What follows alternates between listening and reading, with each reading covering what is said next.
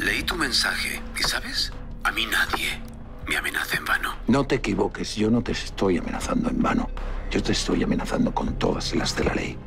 Y si eres hombre, ya estarías cagando leches para venir aquí y enfrentarte conmigo cara a cara para resolver todo esto de una vez por todas. Tranquilo. Muy pronto te voy a mandar al mismo lugar donde mandé a tu hija. Señores, han pasado más de 30 minutos. Tenemos que votar. Miguel Galván tiene el 40% de este grupo, no es un accionista cualquiera. Don Miguel Galván ha sido debidamente informado del lugar y tiempo de la votación. Si no está aquí es porque le habrá pasado algo. ¿Se habrá perdido en el metro? ¿A mí no me mires? Señor Sánchez, entendemos su preocupación, pero esta votación ya se ha pospuesto bastante. Pues lo hacemos otra vez. Necesitamos un director ya.